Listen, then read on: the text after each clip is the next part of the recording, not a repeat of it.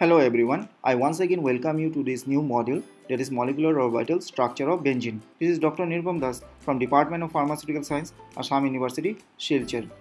On completion of the module, the learner should be able to draw the molecular orbital structure of benzene, resonance structure of benzene. Let's recap. So what we have learned so far? In the last module, we have seen the cardinal features of aromatic compounds. We try to differentiate aromatic, non-aromatic and anti-aromatic compounds based on Huckel's rule. We try to elucidate the structure of benzene. Now let us see the molecular orbital structure of benzene. The skeletal structure of benzene is constructed with 6 carbon atoms and 6 hydrogen atoms. Each carbon atom is bonded to two other adjacent carbon atoms. And one hydrogen atom. Now the electronic configuration of carbon in ground state is 1s2, 2s2, 2px1, 2py1, 2pz0. It doesn't have enough unpaired electron to form the required number of bond because the carbon is bonded to three other atoms. Therefore, one of the electron from the 2s2 orbital is promoted to the 2pz orbital, the nearest energy level. Now this promotion will cause the carbon to go to the excited state. Now the electronic configuration of carbon in excited state is 1s2, 2s1, 2px1, 2py1, 2pz1. In benzene, each carbon atom is bonded to three other atoms. Only three atomic orbitals having unpaired electrons are required to form the necessary bonding. These three atomic orbitals that is 2s1, 2px1, 2py1 will combine together to form three new hybrid orbital. As per molecular orbital theory, the number of atomic orbital is always equal to the number of hybrid orbital formed.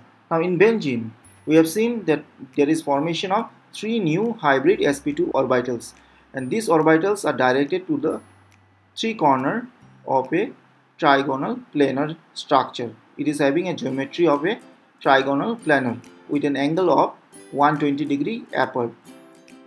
This is the structure of the new sp2 hybrid orbital.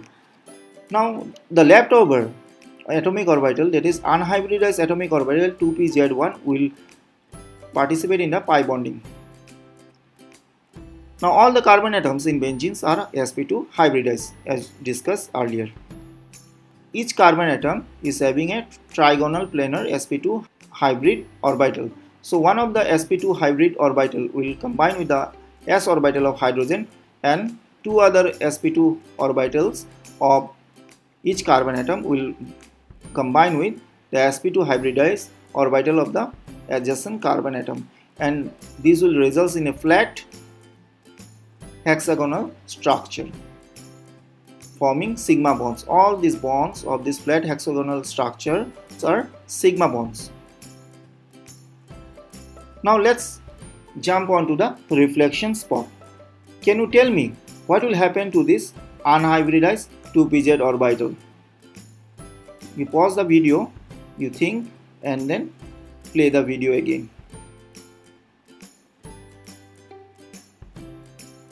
Now this unhybridized 2pz orbital will combine together by sidewise collision forming the required pi bond so possibility is there that they may side there may be sidewise collision like this or it may be like this. There is a rapid interchange between these two structure as discussed earlier and they are called canonical forms and the combination of these two forms results in the formation of resonance hybrid and this is the ultimate structure of benzene. This structure is the hexagonal structure that is sandwiched between the pi clouds Thank you for tuning in. Happy learning.